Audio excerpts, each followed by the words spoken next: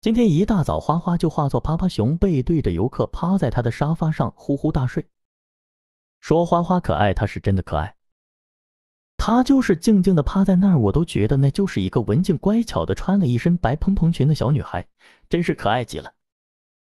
趴着一会儿，还会挪挪屁屁，调整一下位置。天气太热，花花趴了没一会儿，就起身去水池边。他在水池边咕噜咕噜的喝水。解了渴后，他又起身去了小树林。就在我以为花花今天的营业就此结束时，他只是去小树林里解决了他的熊生大事，拉青团。花花还挺讲究，知道要隐蔽行事。爷爷说，女孩子要懂得保护自己，所以不能当众拉粑粑。现在我是大明星了，更要注意形象哦。花花不一会儿又从小树林里出来了，已睡饱的花花此刻精神了。他又去到了前台。此时弟弟荷叶也来了，两只小宝贝排排坐，就开始了吃播营业。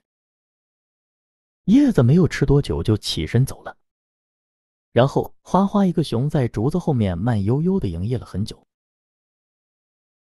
期间，叶子不断的在前台和后花园不停的转圈圈。花花一心当干饭熊，叶子应该是很无聊的，所以才不停转圈圈。花花躲在竹子后面，竹叶几乎把它都遮住了。有的时候探出头来露个正脸冲冲粉，不能让粉丝的票白买不是。今天的花花有宠粉，但不多，因为他仅仅露面几秒钟，他又缩回了竹子后面。